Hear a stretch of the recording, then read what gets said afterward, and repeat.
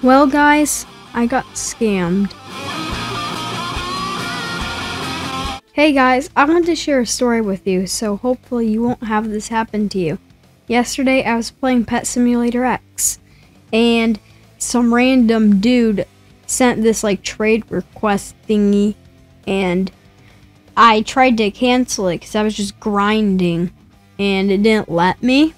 So when I hit accept, I just put in my worst pet. Uh, and then once the trade thing was done, all my most of my good pets were gone. I only had like one left. I'm taking this guy's stuff. I did report the scammer, but unfortunately, the moderators were unable to get back what I lost, although we did still get banned. I'm telling you this because I don't want this to happen to you. If you get a request from someone you don't know and it seems too good to be true, shut down or log out of your game right away. This will hopefully prevent you from getting scammed. Thank you, everyone, and I hope you have a wonderful day. And just like what Roblox TikTok says, stay safe out there.